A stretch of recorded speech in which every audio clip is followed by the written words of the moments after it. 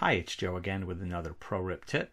If you're like most users, you might have seen this port failed to open error message at one time or another. What does it mean? Basically, it means you have not set up your ports yet.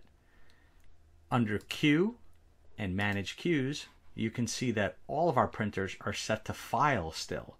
We need to associate a valid USB port or TCP IP port with each one of those. Simply click the down arrow I'm connected by an IP address, so click TCP IP. The software will reach out and scan your network for all available printers. Choose your iColor printer there. Click OK.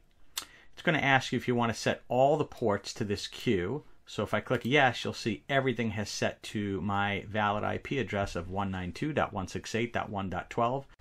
Of course, that's not correct for anything except my iColor 600. Each one of these printers would need its own IP address or USB port set. But for the purposes of this demonstration, we'll leave it alone. Now, there's an X over your image. Just go up here to this little broom dustpan, click Clean Up Errors, click your image again, and go ahead and click Print, and out your job comes. So that was the method for TCP IP connection. Now we will go ahead and show you how to set up uh, for use with a USB port. So just click the down arrow, look for your iColor printer in a list here. Um, it would likely say, in this case, Uninet iColor 600 USB 2, but it could say USB 1 or USB 3. Of course, if you have a 550, it would say 550 over here, but just look for any uh, combination of iColor printer with USB port. Click yes and everything will change accordingly.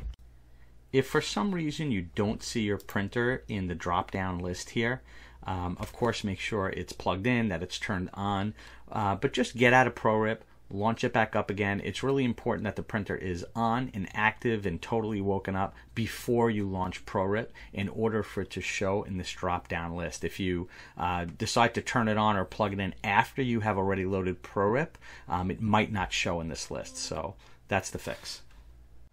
And keep in mind, you might need to reset these ports also if you recently did a print mode update. That also deletes all the port settings. So you might get this error from time to time. Now you know what to do. Okay, thanks.